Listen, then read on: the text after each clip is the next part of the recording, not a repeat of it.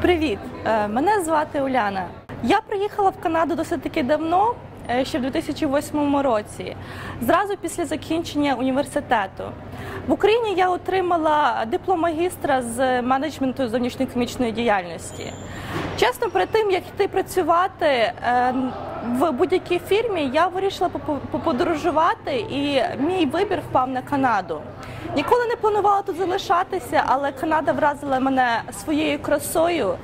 І зараз, 5 років по тому, я й досі тут і планую е, при можливості залишитися. Приїхала я сюди по робочій візі, але дуже швидко я зрозуміла, що без навчання в Канаді дуже важко е, поступити і отримати якусь хорошу роботу.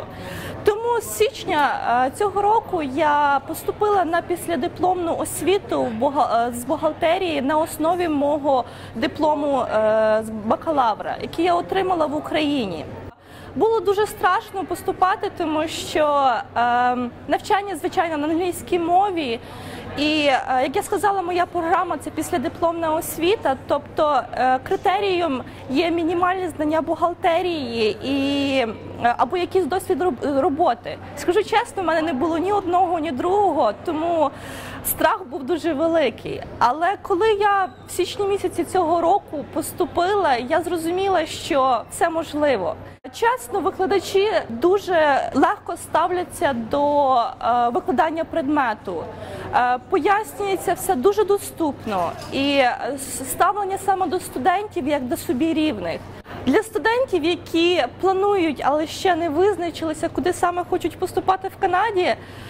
Знаєте, чесно пораджу просто не боятися. Не все так страшно, як здається спочатку. Я думаю, коли ви зробили рішення поступити на навчання в Канаді, ви зробили вже перший крок.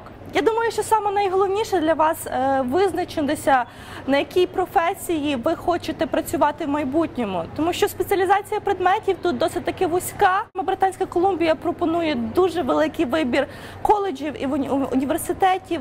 Так що не думаю, що е, з вибором навчального закладу будуть будь-які проблеми.